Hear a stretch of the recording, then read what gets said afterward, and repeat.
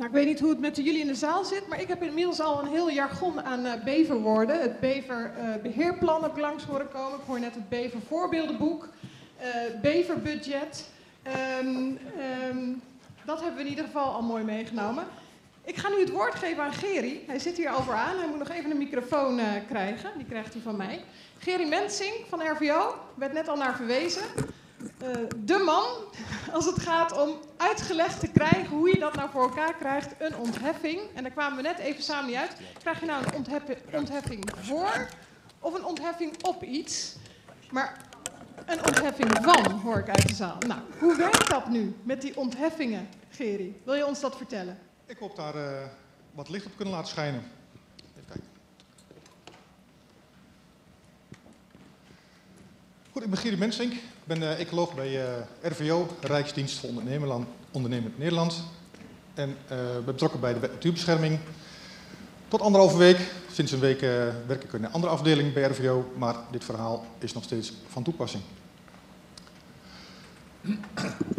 Natuurbescherming kent twee belangrijke sporen. Hebben de soortenbescherming en de gebiedsbescherming. En de gebiedsbescherming, dat is de Natura 2000. Daar is een, lijst met soorten die beschermd moet worden. En uh, bij de soortbescherming heb je een lijst met soorten die ook beschermd moeten worden. Maar ene is binnen een gebied en het andere is overal. Dus je kunt een natuurgebied hebben waar bijvoorbeeld de zandhagedis zit, die niet op de soortenlijst staat van de gebieden, maar wel beschermd is onder de soorten. Dat is voor het gemak. Dat zijn uh, hoofdstukken 2 en 3 van de wet. Als je een keer de tijd over hebt, lees het eens rustig door. Er staat best wat interessants in. Um, RVO, die houdt zich bezig dan met uh, de uitvoering van uh, hoofdstuk 3. En hoofdstuk 2 is voor uh, LNV, ministerie. Ook dat is voor het gemak. De projecten waar wij mee bezig zijn als RVO, dat zijn de provinciegrens overstijgende projecten defensieterreinen, vliegvelden, hoogspanningsleidingen, snelwegen, spoorwegen, wind op zee en dat soort projecten. Maar we grenzen heel vaak uh, aan de bevoegdheden van de provincie en dat is uh, hier en daar ook wel eens onduidelijk. Zoals je net ook zag bij het, de bever in Velp. Ja, is dat nou met de provincie of met het Rijk? Met die ga je nou aan tafel. Um, het komt er eigenlijk op neer dat wij alleen de provincie overstijgende zaken doen. De rest van het natuurbeheer is voor de provincies. Die staan daar in eerste instantie voor aan de lat. Um, RVO is het bevoegd gezag. Dat betekent dat wij, um, heel simpel, de wet moeten uitvoeren. En um, die wet is beschreven door de Tweede Kamer geweest, vastgelegd. Valt niks aan te veranderen. Dus um, discussies over, ja, maar dat is toch helemaal niet nodig en er zijn toch mussen zat, bevers zat. Uh, ja, moet je niet doen, zonder wat de tijd, want die wet is gewoon vastgelegd. Hoe je daar vervolgens mee omgaat, dat is een ander verhaal, maar die bescherming die ligt vast. Discussiëren heeft geen zin. Kom wel eens tegen, ja maar, niet doen, zonder van je moeite. Um, FVO levert een juridisch product dus geen ecologisch plan, geen ecologisch inrichtingsplan. Uh, uh, een juridisch product, namelijk een ontheffing. Een ontheffing is een besluit en een besluit moet bij de rechter overeind blijven. Dus dat moet altijd een goed besluit zijn. Dus de onderbouwing, namelijk de onderzoeken die eraan vooraf gaan, moeten dus ook allemaal goed zijn. En dat is zometeen belangrijk. De ecologie maakt wel deel uit van die afwegingen, maar niet de enige veiligheid, economie. Het zijn allemaal zaken die aan de orde kunnen zijn bij de verlening van een ontheffing. We toetsen aanvragen, we geven ontheffingen af, maar ook gedragscodes. Gedragscode is een variant van een ontheffing. Um, de bescherming van een gedragscode is niet minder dan die van een ontheffing. En je huiswerk, wat je daarvoor moet doen, ook niet. Het is alleen dat het papierwerk minder is. Dat is ook een dereguleringsreden uh, waarom die ooit in het leven is geroepen. Papierwinkel uh, verminderen, maar de uh, bescherming is gelijk. Dat is ook even goed om te onthouden. RVO doet ook de handhaving. Dus als er ergens een, een, een, een zaak zich voordoet, nou, dan wordt er getoetst, is er een overtreding geweest. Want soms speelt er iets zich af en wordt er een boom omgezaagd. Maar ja, niet elke boom is ook een verblijf. of zitten beschermde soorten in. Dus is ook niet altijd een overtreding. Dat bekijken we dan per zaak.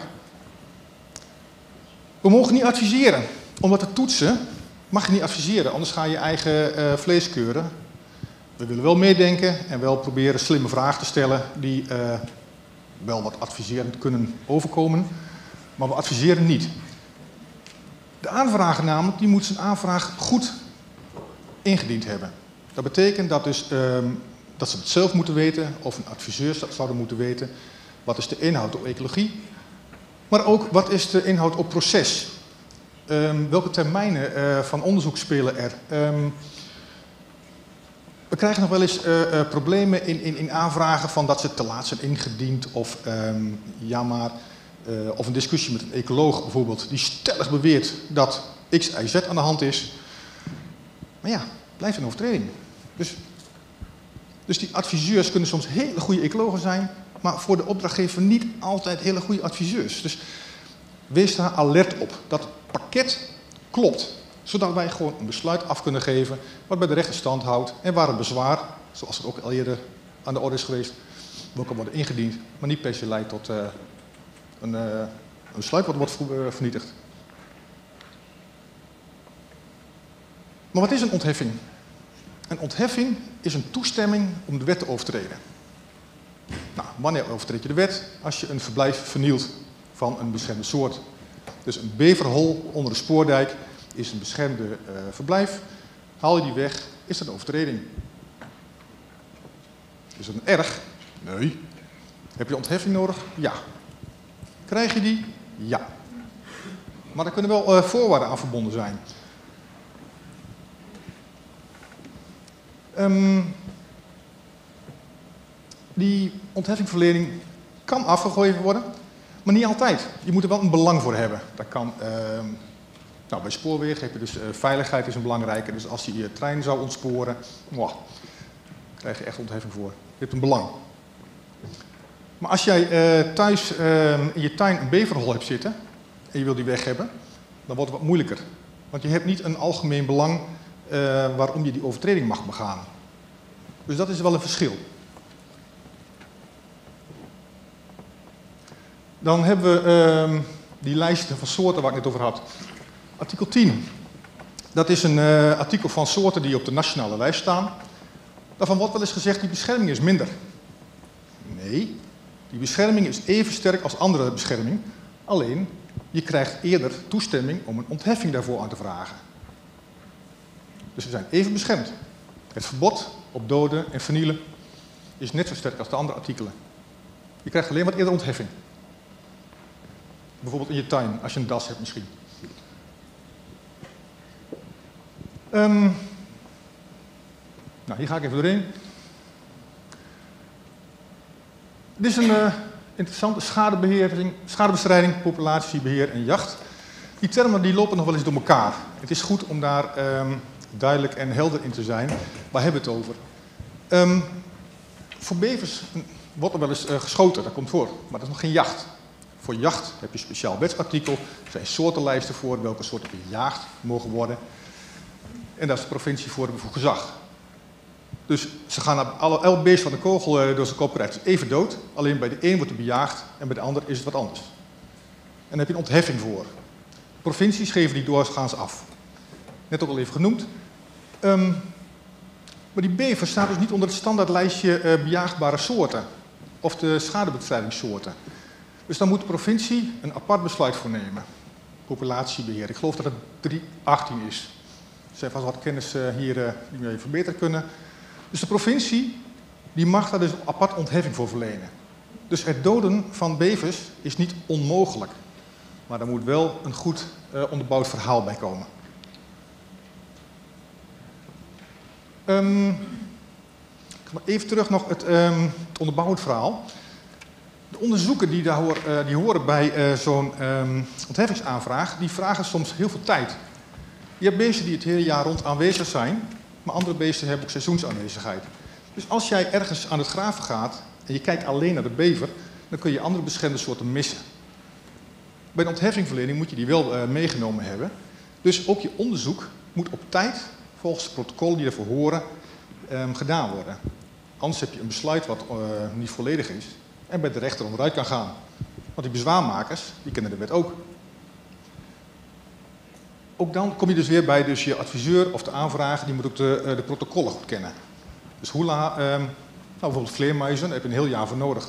Dus wil jij in maart beginnen, moet je daar daarvoor al begonnen zijn. Dus plannen is een heel belangrijk deel van de succesvolle uh, ontheffingverlening. Goed. De burcht of de pijp en de spoordijk. Welke ontheffingsovertreding hebben we dan? Dat is vernielen. De voortplantings- of rustplaatsen die zijn beschermd. Want de bever is beschermd. Verstoren kan ook aan de orde zijn. Dus als jij zijn omgeving uh, verandert, uh, waardoor die uh, zich anders gaat gedragen, wat effect heeft op zijn voortplanting, dan is het juridisch verstoren.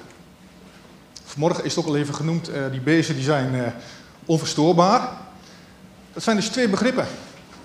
Dus de verstoring in de volksmond en verstoring in de rechtszaal. Je hebt dus eigenlijk meer ruimte dan je denkt. Een beest wat een keer schrikt, is voor de wet nog geen verstoren. Vogels mag u uh, überhaupt verstoren, mits de gunstige staat van de standhouding niet in het geding is. Dus bij een, uh, nou, wat, een broedende merel, die mag je wel verstoren. Maar je mag zijn nest niet vernielen. Dus als je aan het werk bent in een spoorsloot en dat nest blijft zitten, nou, ga rustig je gang. Geen overtreding, geen ontheffing. Haal je de struik weg, het nest valt op de grond, dan heb je een verhaal.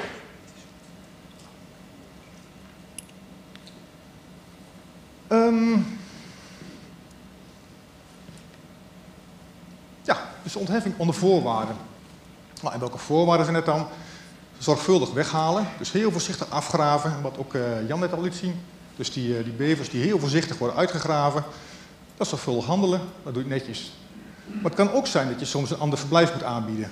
Het hangt van de situatie af. Dat zijn allemaal voorwaarden die aan de orde kunnen zijn bij een ontheffing. Wij geven als RVO in principe geen ontheffing voor dood en verwonden. Dat moet wel heel bijzonder zijn. We hebben bij Talo, bijvoorbeeld van vanochtend gehad, daar zaten ook um, um, alpenwatersalamanders in het uh, gebied mogelijk. Zou dat spul daar worden drooggelegd en vergraven, is die beschermde soort mogelijk ook in het geding. Nou, daar hebben we bij hoge uitzondering um, akkoord op gegeven. Want er is geen onderzoek wat goed laat zien waar die zit. Geen idee van de alternatieven. En toch moet je aan de slag. Nou, dat is zo'n situatie dat je zegt, ja jongens, nu moet je wel. En dan doen we het ook. Maar in principe niet.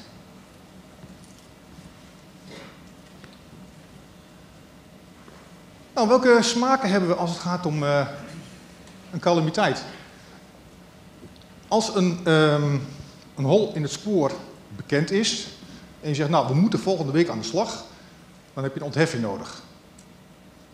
Maar ja, normaal gesproken staat er een aantal maanden voor. Maar in een spoedgeval moet je wel. Nou, dan ga je in overleg met, uh, met RVO en dan wordt gewoon gekeken wat is mogelijk op deze termijn. We hebben de afgelopen uh, maanden een aantal keer gehad, ook bij de punt dat we het met een week voor elkaar kregen. Nou, dat was wel heel netjes en heel snel, maar met heel veel moeite binnen het collega-team, want er is een heleboel werk wat ook gedaan moet worden. Heb je een situatie die al gebeurd is, ja, dan wordt er een handhavingsverhaal. Dus dan komt de afdeling handhaving in, uh, uh, in stelling. Maar ook dan wordt altijd gekeken, wat is hier gebeurd en wat zou er nog moeten gebeuren om het te herstellen of aan te vullen of zo. Het is dus niet altijd dat je een knuppel in je nek krijgt, maar uh, wordt wel gewoon netjes zorgvuldig gekeken van wat is hier gebeurd en wat kun je nog doen in de toekomst. Um, waar we nu in zitten is een fase, het zijn nieuwe verschijnselen waar je met, uh, als samenleving nog niet aan gewend bent. Dus ook vanuit de um, uh, vergunningverlening en de heffingverlening is nog wennen. Want als jij komend half jaar iets hebt en het onderzoek heb je een half jaar uh, of een jaar nodig, kan het al niet. Die planning waar ik het over had. Dus je, je, moet nu dus in beeld brengen wat zijn de risicolocaties voor de komende uh, maanden, jaren. En dan de reguliere ontheffingsaanvragen uh, voorbereiden, waarbij je wel het onderzoek kunt doen wat je nodig hebt. En dan krijg je altijd ontheffing. Ik heb nog niet meegemaakt dat een project niet door kon gaan omdat er geen ontheffing kon worden verleend. Weliswaar vertraging. En de meeste vertraging komt door een, ehm nou gebrekkig is het groot woord, maar dat er dus uh, haken en ogen zit in de voorbereiding. Dus de projectleider die heeft een hele grote uh, verantwoordelijkheid in het slagen van zijn project. Um, ja, waar we in de praktijk natuurlijk tegen aangelopen zijn, is um, de grens van de bevoegdheid. De spoordijk voor RVO en de sloot voor de provincie.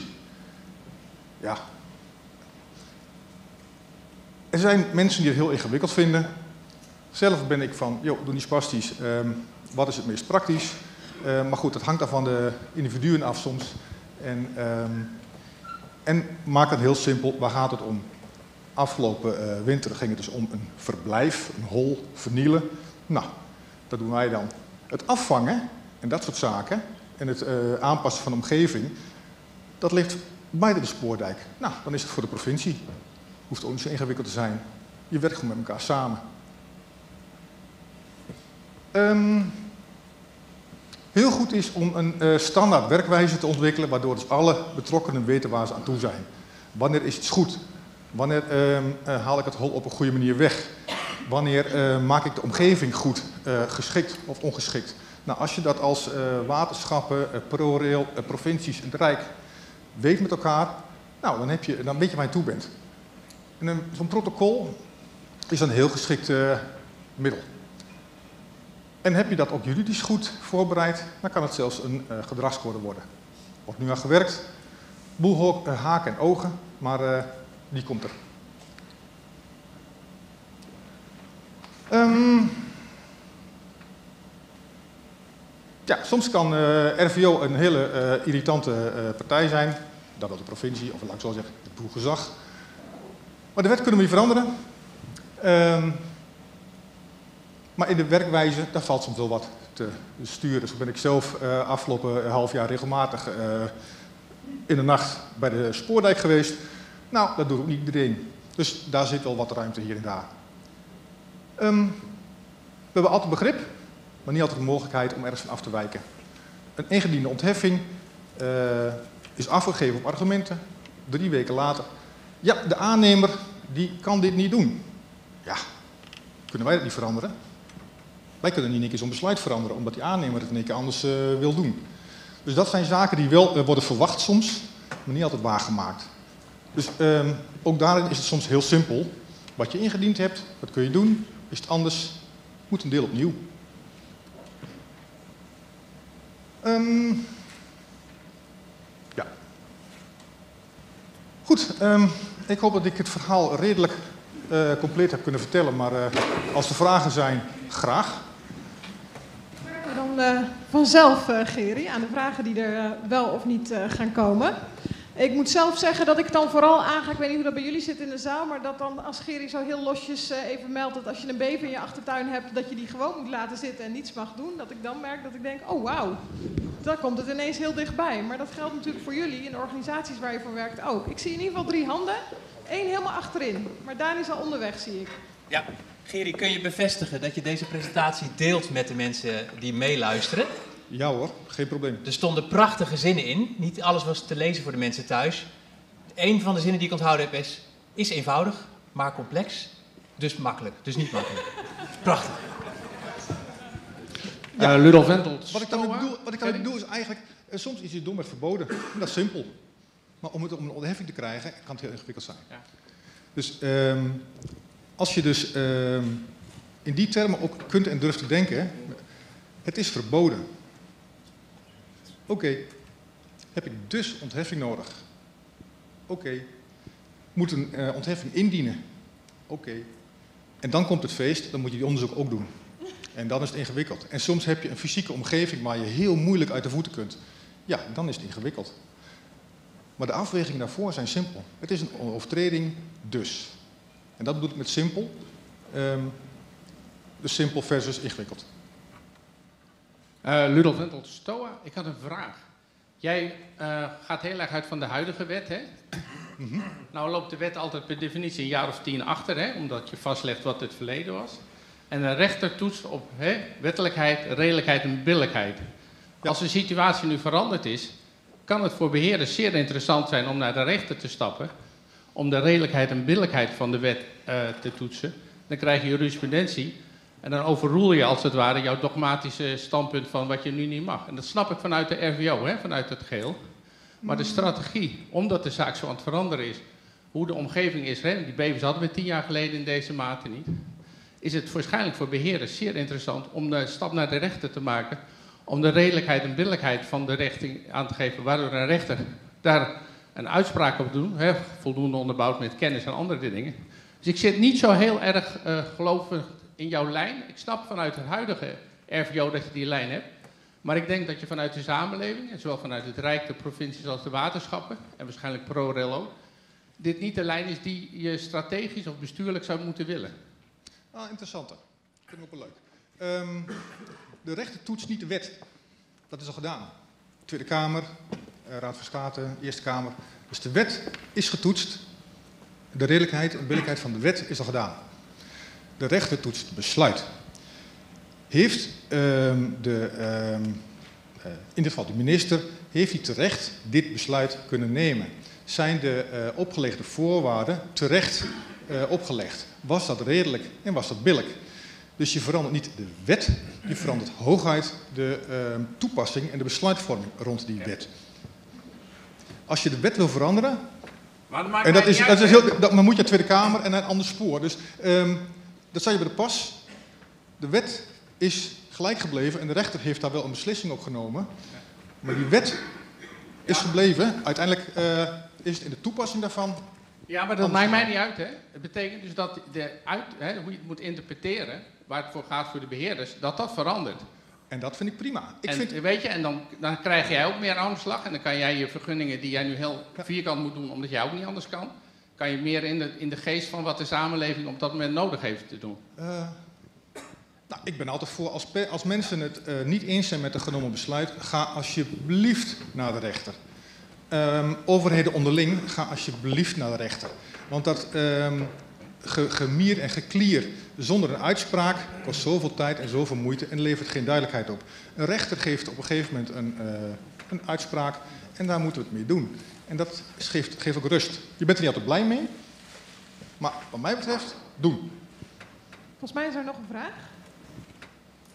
Karen Zwerver, Rijkswaterstaat. Uh, ik heb een vraag over voorwaarden. Mm -hmm. uh, aan ontheffing zijn uh, vanzelfsprekend voorwaarden verbonden. Uh, maar dan hoor ik van ja, uh, ik kan, hè, dat een aannemer het niet uit kan voeren. in hoeverre zijn jullie bezig met de, de rijkwijde van voorwaarden te bekijken in relatie tot mogelijkheden voor de uitvoering? Waar zit jullie rol en waar zit de rol van de aannemer? Uh, wat ons betreft ligt die uh, rol bij de deskundigen. En dat is dus de aannemer zelf, dat is de aanvrager. Dat is dus in de voorbereiding, daar moet de deskundigheid zijn die zorgt dat de aanvraag zodanig goed in elkaar zit dat wij er alleen maar klap hoeven te geven. Wij zijn niet een, ehm, een aannemer wij zijn geen uh, bodemkundig adviesbureau, wij zijn geen ecologisch adviesbureau. Wij toetsen. Dus wanneer het verhaal wat ons wordt aangereikt klopt, en we hebben geen aanleiding om te veronderstellen dat er iets uh, mis zou zijn, krabbel. Dus die voorbereiding is voor de aanvrager, in dit geval ProRail, maar ook Rijkswaterstaat, daar, die moeten dus de deskundigheid hebben of inhuren om die aanvraag te doen. We hebben wel als RVO het afgelopen jaar de, het vooroverleg uh, ingevoerd om dit punt um, uh, te bespreken. Van in de aanloop naar projecten, dit zijn we van plan, dit willen we gaan doen. En dan heb je een gesprek over ben je volledig, uh, nou, moet er nog wat bij komen of niet. Dus het vooroverleg is heel belangrijk om tot een goede uh, aanvraag te komen. Ons doel is ook dat na zo'n vooroverlegtraject de aanvraag nou, voor 95% uh, akkoord moet zijn. Klap erop, punt, komma en dan door. Dus maak ook gebruik van dat vooroverleg. Neem contact op met wnb.rvo.nl. Vraag uh, overleg aan als je een project hebt waar uh, een ontheffing voor aan de orde is. Dus het vooroverleg kun je het bespreken, maar de deskundigheid bij de aanvrager en de adviseurs. Dankjewel voor het antwoord, Geri. Er is een, belangrijke vraag hier nog rechts in de zaal. En er zijn misschien nog wel meer vragen in de zaal, maar ook een belangrijke vraag op de chat. Zie je één bevergedragscode voor, voor alle organisaties? Of liever per waterschap of zelfs per organisatie apart? Nou de gedragscode is in het verleden ingevoerd om de papierwinkel uh, terug te brengen. Dus als we het met elkaar voor elkaar krijgen in Nederland om één code of één uh, systematiek te hanteren, zou mooi zijn. Of dat lukt, dat weet ik niet.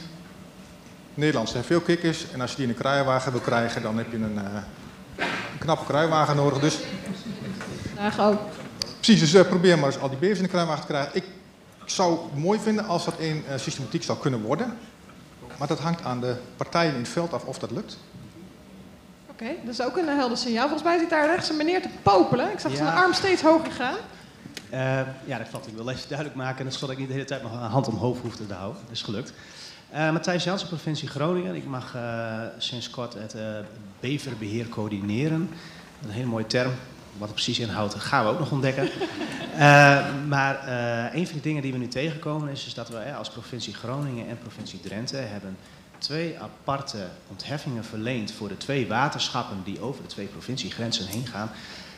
Oké, dus dat wordt al wat ingewikkelder. Tegelijkertijd hebben we het verhaal van uh, het ProRail, uh, in, nu nog in Drenthe, maar zomaar zou het kunnen zijn in Groningen. Uh, tegelijkertijd heeft ook Rijkswaterstaat natuurlijk verschillende bevoegdheden door de provinciegrenzen heen. het sluit eigenlijk precies bij op aan. Ik voorzie eigenlijk iets dat we um, een soort van not in my backyard verhaal krijgen. Van leuk dat er bevers er zijn, maar niet voor onze functie op bepaalde momenten. En dan krijg je misschien het geval ik zeg maar even niet juridisch, want dat ben ik niet. Um, dat je eigenlijk um, nou, vooral plekken krijgt waar de bever niet mag zijn. En daardoor steeds minder plekken waar de bever wel mag zijn. En je dus eigenlijk zeg maar nooit een plekje, een moment gaat um, uh, krijgen, creëren waarbij je zegt nou, nou heeft die gunstige staat van instandhouding voor die bever bereikt. Even in ecologentaal gewoon ja, dat die bever het zo goed in Nederland doet dat hij gewoon nou ja, zichzelf in staat kan, uh, kan houden. En tegelijkertijd krijg je ook steeds het probleem dat je denk ik het probleem verschuift. Hè. Dus even niet om de, de organisatie zelf, maar het is genoemd. ProRail die zegt van ja, uh, we kunnen ze niet in ons, uh, ons, spoor gebruiken. Um, hij moet toch uh, opzij, die neemt maatregelen, die zorgt dat hun kant van de sloot goed beschermd is. En vervolgens zit hij bij de buurman steeds waterschap in het, in het, in het, in spoor of een dijkteluut. Um, ja, ik denk wel, ik weet niet of het mogelijk is juridisch gezien, maar het zou echt een heel goed idee zijn om dat landelijk aan te pakken. Dus dat is de vraag eigenlijk, hè? Kan, nou, half, je... half, half vraag en half... Ja, er was ook een heel betoog, dat had ja, ik door. Sorry. Maar het gaat toe naar de vraag, kunnen we dit misschien landelijk aanpakken, omdat we er anders niet uitkomen? Geri? Weet ik niet. nee, dat, dat, dat, dat, dat ja. ja.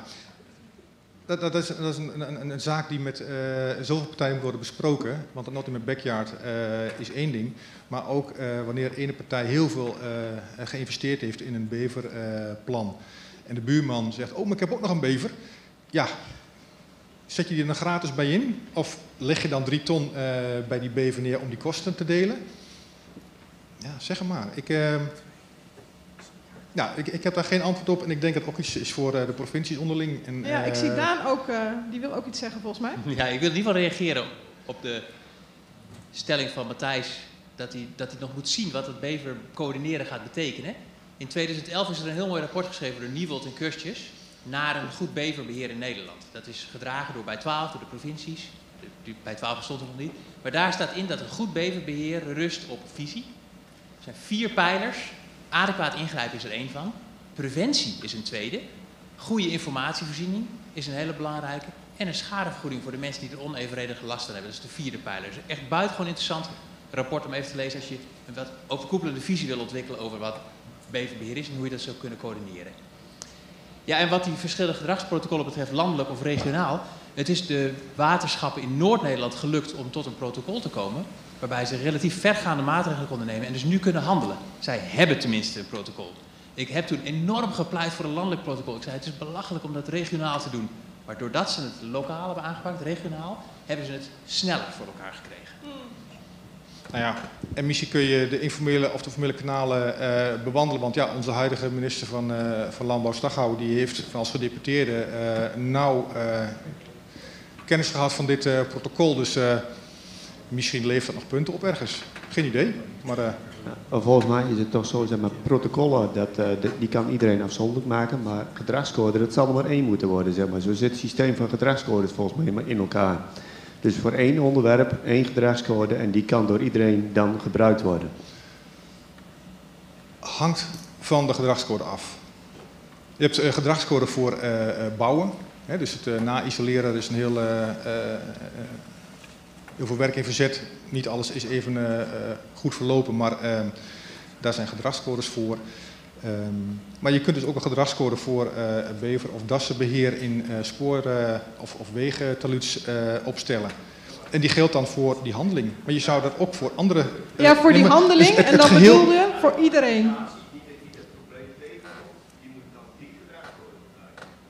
Als je van die gedragscode gebruik wilt maken. Je mag altijd je eigen ontheffing aanvragen. Dus je bent niet verplicht om die gedragscode te volgen. Maar als je aan die voorwaarden voldoet, dan val je als het ware onder de paraplu van die eh, gedragscode en eh, raak je niet in overtreding. Wil je het anders? Mag. Maar dan moet je dus die ontheffing aanvragen met het hele voorbereidingsspoor wat net ook al genoemd is. En dan, eh, dan kan dat. Dus het is geen verplicht nummer. Ja, volgens mij eh, Wij kunnen nog één vraag uit de zaal toestemming geven. is er nog een vraag. Daar is er Ja. nog eentje van. En daarna gaan we richting een afronding.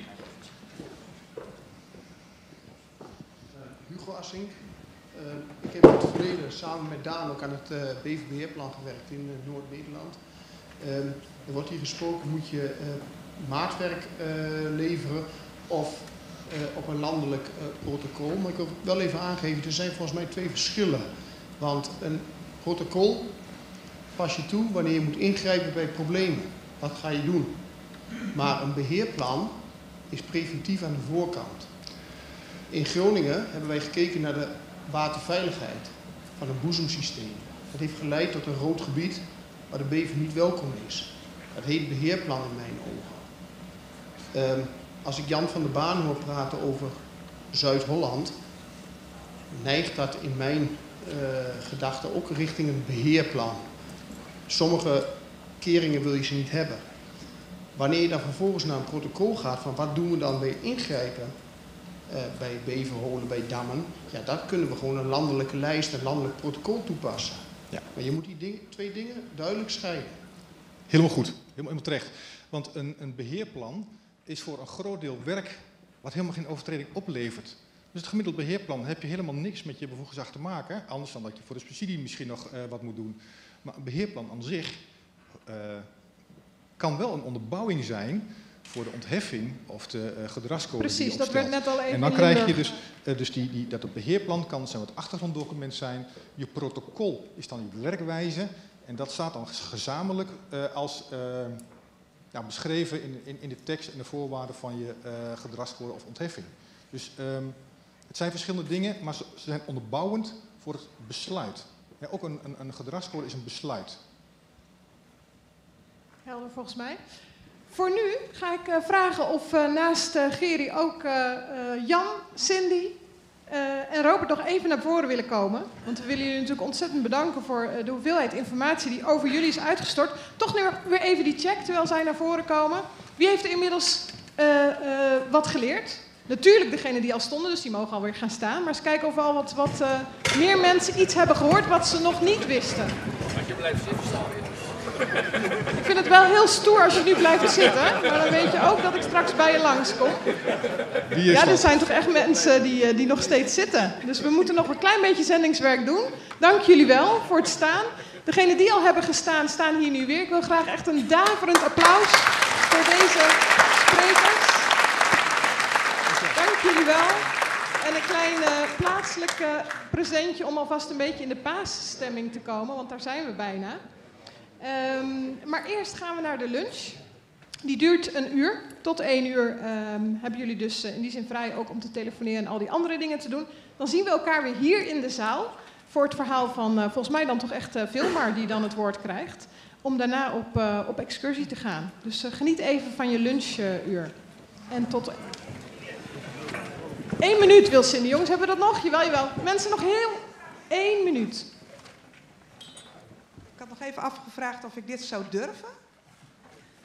Maar ehm, de afgelopen maanden uh, ze hebben mij op zich ook niet geheel in koude kleren zitten gezeten. Uh, slapeloze nachten, maar ik heb ook ontzettend veel geleerd. En uh, ik heb ook ontzettend veel gelachen. En er waren een aantal mensen die ik toch even een heel klein speciaal bedankje wil geven. En ik heb hem hier. Ik begin even met. oh, ik doe het even op naam. Ik begin even met Filmar. Ik heb hier namelijk een potje. En uh, ik geef me even aan jou, want jij durft dat natuurlijk wel te openen. Was het maar waar. Vul maar. Ik heb jou er nog even een echtheidscertificaat bij. Daan. Maar wat is het, Cindy? Ja, wat is het? Wat is het? Dankzij jou was ik hier natuurlijk ook nooit aan begonnen.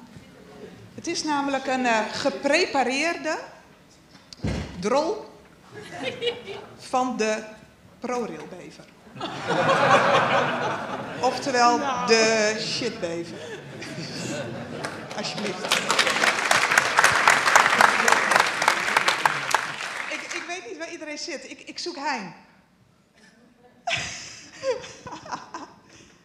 Goh, Hein, jongen. Wij zijn aardig nader tot elkaar gekomen na het moment dat jij binnen het uur het treinverkeer had stilgelegd. Dus ook voor jou een rol van de shitbag. Ik heb nog twee kaartjes. Michel van de Boogaard. ProRail. Ik, Ik weet dat Michel al jaren hamert op een stukje bewustwording. Er komt wat op ons af. De bever is niet alleen een waterschapsprobleem, maar ook een probleem voor de overige infrastructuur.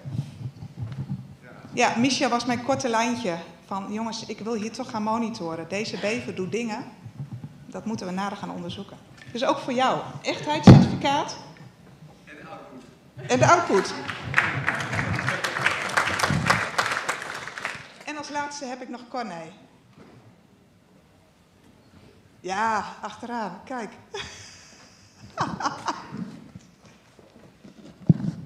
Ondertussen heb je hier lijntjes binnen ProRail. Ook voor jou. Alsjeblieft. Dankjewel. Dat was het, nou, kan. Nou, daar was ja, het. sorry, beginnen we toch weer met poep. De shitbever, weer een nieuw woord. Ik kende hem nog niet.